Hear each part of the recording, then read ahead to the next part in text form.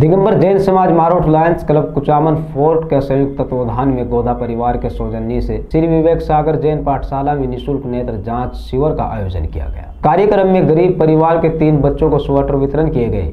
वहीं कम सुनने वाले एक व्यक्ति को कान की मशीन भी वितरण की गई।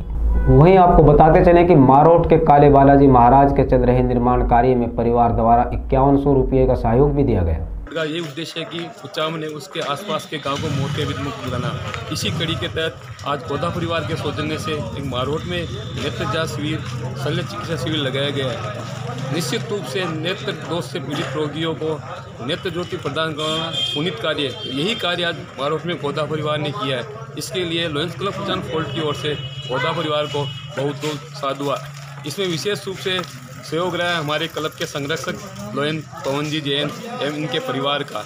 इससे पहले भी इस परिवार ने इस काम में एक पुनित कार्य किया था। आदरणीय श्रीमती प्रेम देवी जी का नेत्रदान करवाकर। निश्चित रूप से इस, उस नेत्रदान के बाद में इस क्षेत्र में जागरूकता आई है और नेत्रदान करवाना दो जनों को आँखों की रोशनी रोशनी देना का पुनित कार्य है। आपके द्वारा जो लायंस क्लब के द्वारा जो कैम्प कराए जाते हैं, इससे कितने लोगों को फ़ायदा मिल रहा है और आज क्या उम्मीद करते हैं इस कैम्प से? फ़ायदे का देखो, हमने सोचा नहीं, हमारा एक ही लक्ष्य है, ये एरिया मोटे बिंदु बनना कुचा में उसके आसपास का एरिया।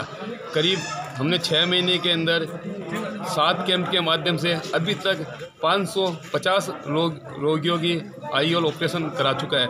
और हमारा लक्ष्य है, इस वर्ष के अंदर लोयनवादी वर्ष के अंदर एक हज़ार रोगियों का ऑपरेशन करवाना।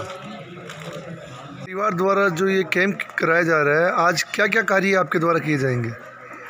पहला तो नेत्र जाँच शिविर जो लगाया जा रहा है, इसमें उम्मीद करते हैं कि साठ सत्तर ऑपरेशन यहाँ हो और उन सबको जयपुर ले जाकर उनका ऑपरेशन करवाना है। वहाँ जयपुर में, उस हॉस्पिटल में शंकरा हॉस्पिटल में 200 के करीब बेड है और 200 ही फुल रहते हैं। तो मार, मारोड के जितने भी प्रवासी जयपुर में रहते हैं, उन सभी को वहाँ आमंत्रित किया गया है और सभी 200 रोगियों को बिस्किट वितरण का कार्यक्रम वहाँ पर है।